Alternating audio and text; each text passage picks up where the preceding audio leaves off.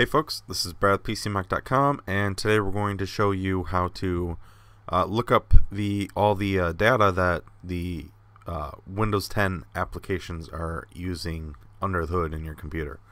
Uh, so one way you can do this is go to Task Manager, which you can access by typing into the search bar Task Manager and clicking the app there, or you can right click on the Start menu and click on Task Manager here. From here we can click on app history and we can get a overview of what all the uh, native Windows 10 apps have been uh, or are taking up.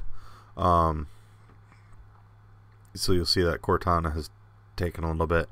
Uh, but the downside that of, of this is that it only shows you app native applications. In other words, you won't see information on applications that aren't from the Windows Store. So to do this, we're going to close the Task Manager. We're going to go into the Start menu and type in Settings. We'll click on the Settings app, and then we'll go to this Network and Internet category.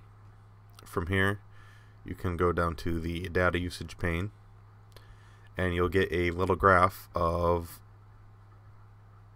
where your uh, internet data has been going, so over Wi-Fi or Ethernet. Uh, but to get more individual details on what the apps have been taking up, even the non-Windows Store apps, you can click on this Usage Details button. It'll take just a minute to load, and then you'll get a overview of what applications and programs on your computer have been taking up data over the last 30 days.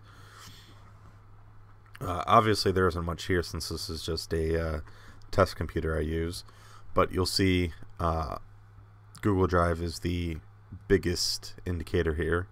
Um, but if you were to say you're a gamer who downloads a lot of games from Steam or uh, Battle.net, uh, up here you would see uh, the Steam icon as well as the uh, Battle.net icon uh, and it'll show you how much uh, data you've downloaded from that. So if you've downloaded like four large games, uh, you'd see it's say 80, 100, 120 gigabytes. And it's really neat uh, if you have something on your computer that you don't know is taking up a lot of data uh, and even potentially throttling your bandwidth connection. Uh, this is a great way to find out what it is, what is going on and uh, tracking that down and hopefully taking care of it. And yeah, that's all there is to it, folks.